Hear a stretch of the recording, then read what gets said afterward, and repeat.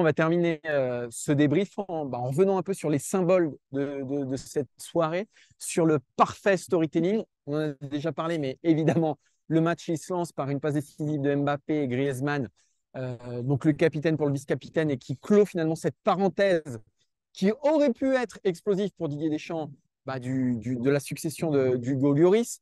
Le penalty arrêté par Mike Maignan qui nous donne aussi quelques regrets, euh, qui nous fait dire que s'il avait été là peut-être euh, à Loussaï il y a trois mois, ça serait peut-être passé différemment. Mais bref, on a l'impression que bah, toutes les questions qu'on se posait avant ce match, etc., euh, bah, tout, tout a été plutôt clair ce soir.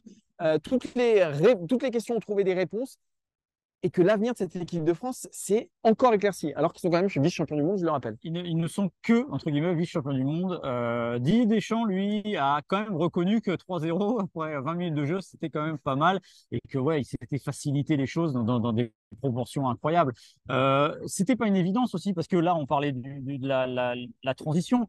Il y a eu quand même pour Didier Deschamps aussi trois mois ont été assez compliqués entre ce qui s'est passé à la Fédé avec Noël ben oui. entre sa reconduction qui a été discutée et même discutable, l'histoire des 4 ans au lieu des 2 ans. Donc euh, pour lui les aussi, retraites internationales. les retraites internationales des joueurs, comme il a dit, euh, il l'a dit, je crois hier ou lundi, il a dit il y en a certains avec qui j'ai discuté et il y en a certains bah, qu'il aurait préféré avoir encore avec lui. On peut imaginer que notamment tiens, Raphaël Varane, il aurait aimé l'avoir euh, déjà pour le brassard, ça aurait peut-être simplifier des choses, même si finalement maintenant ça paraît derrière nous, mais n'empêche que ça aurait aidé. Et finalement, voilà, c'est du storytelling qui est incroyable. Et, et, et je alors on a, on a parlé tout à l'heure du, du, de la passe décisive de Griezmann pour, de Mbappé pour Griezmann, mais le penalty c'est presque caricatural. Ça arrive à la dernière minute. Alors évidemment, c'est un penalty sans enjeu, euh, c'est pas exactement la même chose.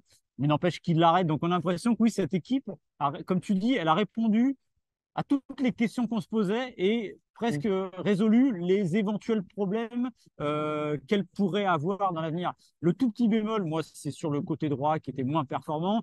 Et un milieu. ça, ça date pas d'aujourd'hui. Ça date pas Et puis on voit pas de réponse pour le coup. Exactement. Et le milieu qui était un peu moins vu, mais pour une raison simple, c'est parce que derrière, il prenait les choses en main. C'est-à-dire ouais. qu'il y avait presque, j'exagère, pas besoin d'avoir mieux performant. Parce que derrière, même à un moment, on, on plaisantait en tribune de presse, ou pas Mécano, on a l'impression qu'il allait faire un, un sombrero, parce que tellement il était, il, il était, chaud. Il était à l'aise. Ah, il voilà. était chaud.